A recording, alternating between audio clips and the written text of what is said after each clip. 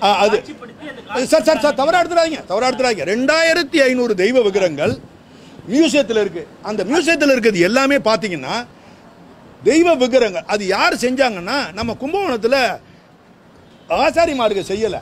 இதெல்லாம் சேர சோழ பாண்டியர்கள் முக்கியமாக சோழர்களையும் பாண்டியர்களால் செய்யப்பட்ட தெய்வ விக்கிரகங்கள். நோக்கம் என்னன்னா உற்சவ மூர்த்திகள். உற்சவ மூர்த்திகளுக்கும் மூலமூர்த்திக்கு என்ன வித்தியாசம்னா ரெண்டு ஒரே இது. அவர் நகரமாட்டார் இவர் நகருவார். அவர் ஆண் அவருடைய சார்பில் அவர் சுற்றி வருவாங்க. சுற்றி வரும்போது திருவிழாலாம் நடக்கும். ஆனால் இப்போ அவைகளை கொண்டு வந்து காட்சி பொருளாக வச்சு விழாக்கள் இல்லாமல் நீங்கள் செஞ்சீங்களா? ஏ கவர்மெண்ட் அந்த சிலையை செஞ்சுச்சா? Come on I ask very specific question நீ யார் அப்படின்னு கேட்குறேன் பி கவர்மெண்ட் சிலையை செஞ்சு தெய்வ விக்கிரங்களை செஞ்சீங்களா? மனுஷன் தத்து போனால் அதுக்கு பேர் சிலை. நாங்கள் நம்பிக்கை உள்ளவன்.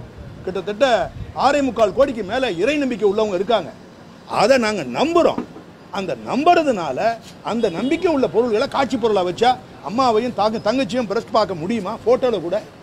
அதுக்கு மேலே பார்க்கக்கூடிய இறைவனை இறைவியை காட்சி பொருளாக வெளிநாடுகளில் வச்சுருக்காங்கன்னா அவங்க வேற நாகரிகத்தை சேர்ந்தவங்க அவங்க பார்க்குறாங்க அழகு சென்சுவஸ் பியூட்டிக்காக பார்ப்பான். பரவாயில்ல. இங்கே நம்ம நம்மளே பார்த்தோம்னா என்ன? இதை திருப்பி திருப்பி சொல்லிக்கிட்டு இருக்கேன். அது வரணும். ப்ளஸ் மூணு லட்சத்தி ஐம்பதாயிரம் வந்து கோயில்கள்லையும் ஹெச்ஆர்என்சி டிபார்ட்மெண்ட்டில் ரெஜிஸ்டர் பண்ணாமல் இருக்குது அதுக்கு தான் நான் சொன்னேன். இந்த கேள்வி நீங்கள் கேட்கலாம்.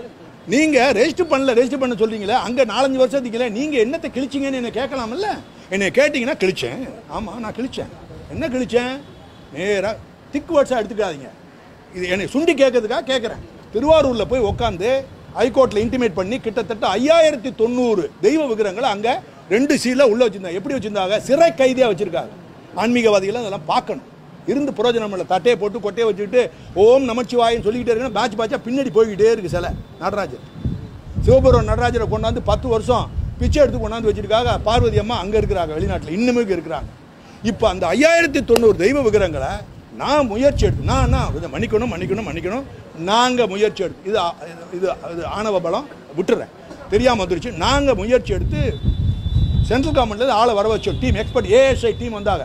அந்த கமிட்டிக்கு பேர் ஸ்பெஷல் கமிட்டி ஆன் ஆன்டிக்விட்டி அந்த கமிட்டி இருபது டீம் வந்து அந்த ஐயாயிரத்து தொண்ணூறு விக்கிரங்களை விசாரிக்கிறதுல பார்த்தீங்கன்னா கிட்டத்தட்ட ஆறு மாதம் எடுத்துக்கிட்டாங்க. எத்தனை மாதம் எடுத்துக்கிட்டாங்க? ஆறு மாதம் எடுத்துக்கிட்டாங்க. ஆறு மாதத்தில் ஃபஸ்ட்டு ஃபேஸில் மட்டும் எண்ணூற்றி பதிமூணு தெய்வ விக்கிரகங்கள் சர்டிஃபிகேட் கேட்டால் கிடச்சிருச்சு. அதில் நூற்றி தொண்ணூத்தேழு தெய்வ விக்கிரகங்கள் ஃபேக்கு அப்போ நூற்றி தொண்ணூறில் ஒரு நூறு கோயிலேருந்து வந்திருக்கும்ல அப்போ நூறு வழக்க போடணும்ல. சார் நான் ஒன்றுமே செய்யல. வழக்கை பதிவு செய்யுங்க. பதிவு செஞ்சால் ரெக்கார்டில் ஆகிக்கிடும். யாரோ ஒரு புண்ணியமாக கண்டுபிடிச்சானா இருபது வருஷம் கழிச்சு அதை கொண்டு வரதுக்கு ஈஸியாக இருக்கும்.